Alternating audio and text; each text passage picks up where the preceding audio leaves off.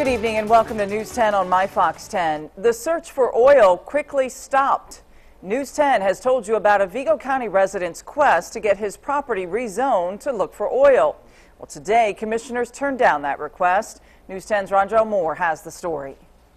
For the commissioners, it was a tough decision, but one they felt they needed to make. Uh, we felt very badly for Mr. Von Leer, but uh, before it got completely out of hand, we really needed to stop and say, whoa.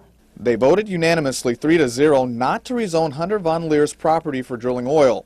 In pursuing our information, uh, we find that maybe we don't have enough teeth into uh, policies and ordinance that control these. Basically, they didn't feel they could effectively regulate the drilling to ensure county interests were protected. Their decision and especially the reasoning is resonating big time with neighbors. Our goal was that we establish some criteria that allowed any kind of that uh, operation in a residential area that there would be some controls. The neighborhood had been outspoken, wanting to make sure the drilling would not go unregulated, possibly harming their overall well-being.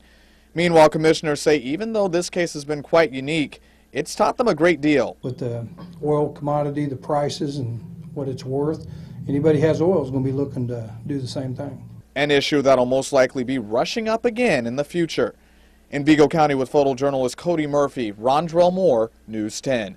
Commissioners say it is possible Von Leer will attempt to modify his request and try again. They add they are not against oil drilling, but must take each request on a case by case basis.